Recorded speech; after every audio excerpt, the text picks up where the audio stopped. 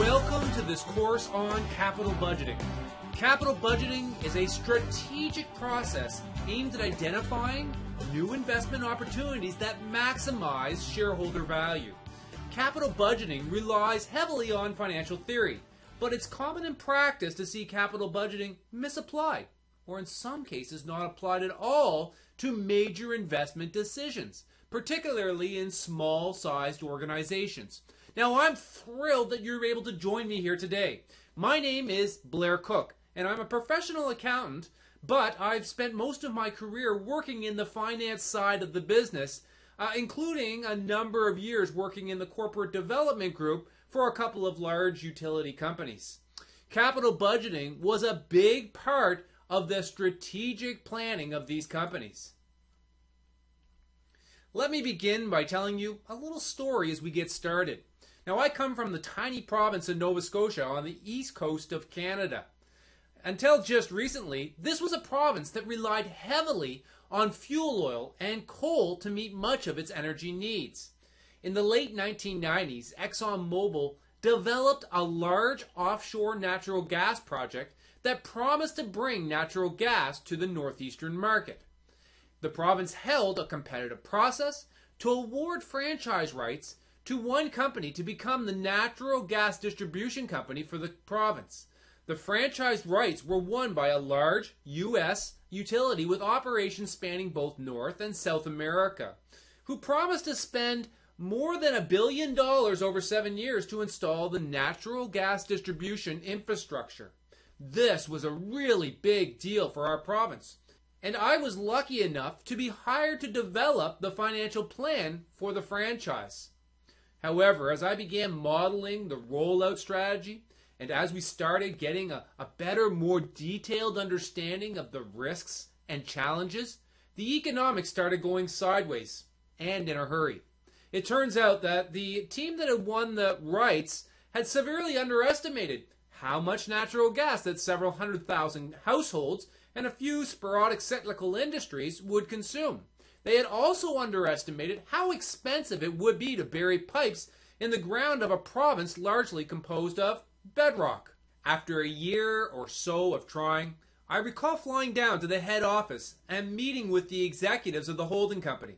What stood out for me was how they were evaluating their capital allocation decisions.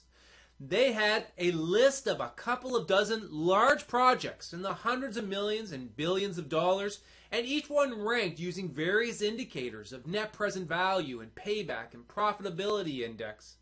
At the bottom of the list stood Nova Scotia, and try as we might, we couldn't get the concessions from the provincial government that would help boost the returns for the project.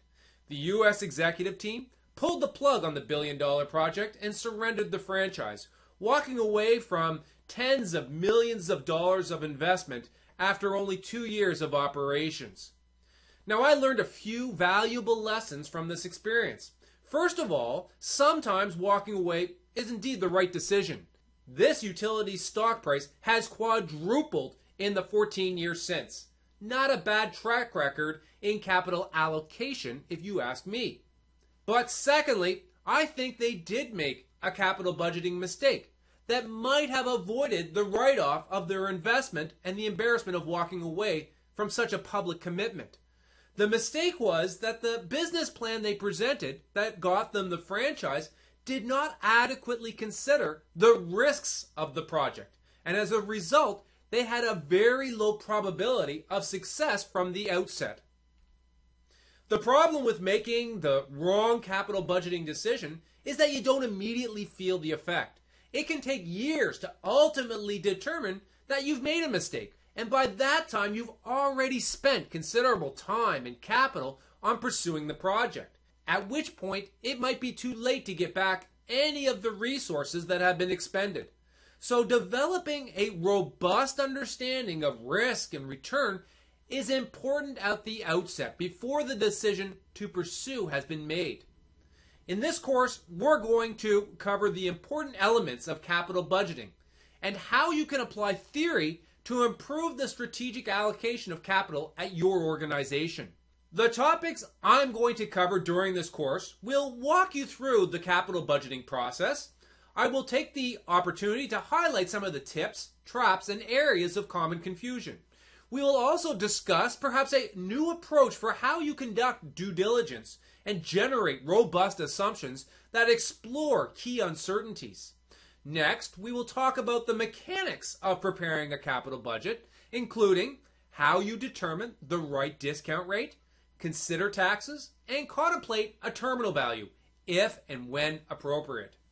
Then we need to consider how we will communicate decision relevant information in a way that not only enlightens but enhances the selection of a viable capital project to pursue.